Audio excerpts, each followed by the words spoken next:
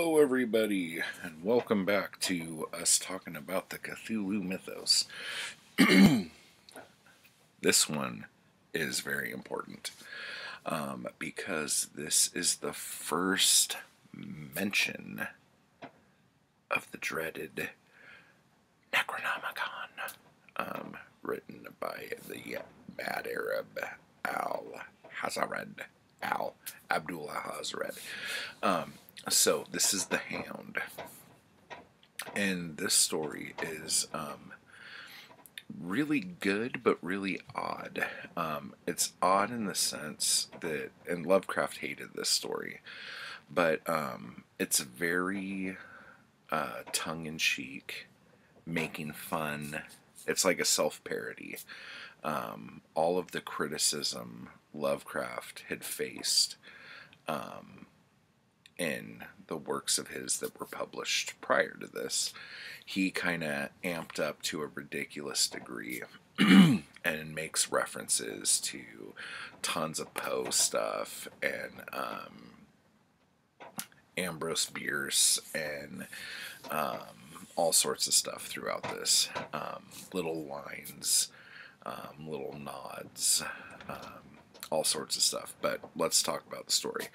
So this story is um, really weird and brings up a couple other things that I don't think we're gonna spend a lot of time talking about here. But um, one of the things that you will find when reading Lovecraft is um, there's not really a whole lot of women around um, doing womanly stuff. Womanly. Um, it's usually um, a dude and sometimes a dude and another dude.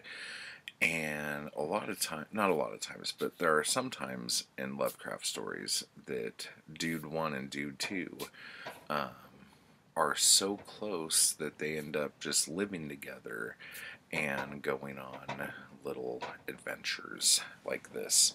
And a lot of times, one of the dudes is the narrator, and the other dude is um, kind of like a, a manipulative bad influence on the narrator.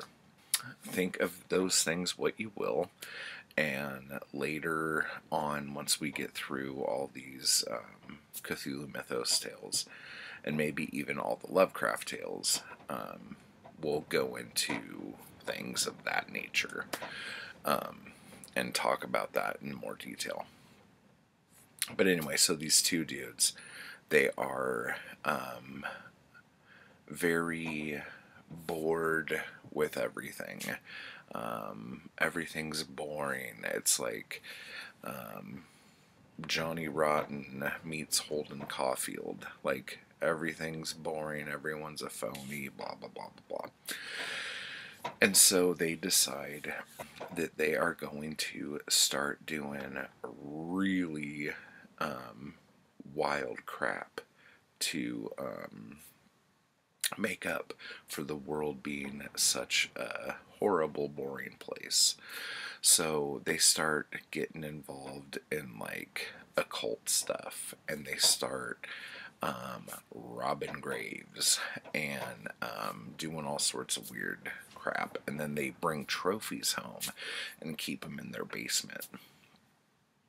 And um, they hear about this guy who was buried with this amulet that he actually stole. The guy stole robbing another grave of like some dark arts dude.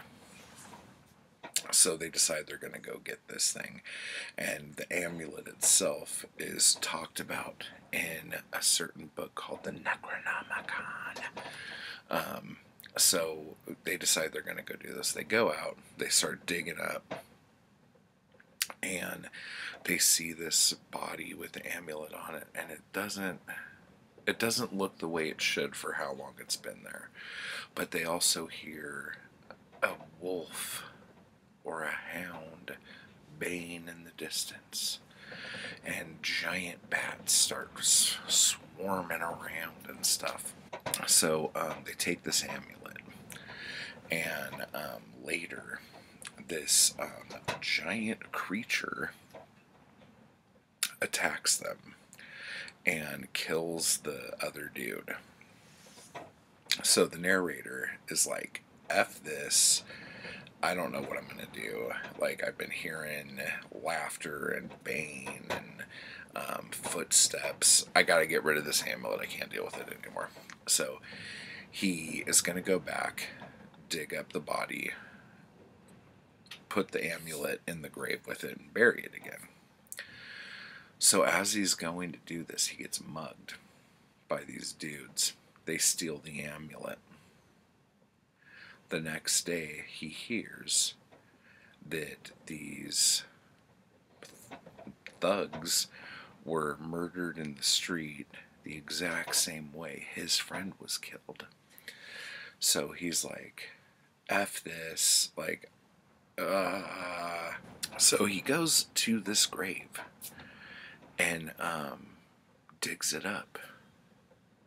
And in the grave, he sees this unspeakable thing that's half this, half that, half this, half that, half. Like by the time you get all the halves, it's like 550% of something.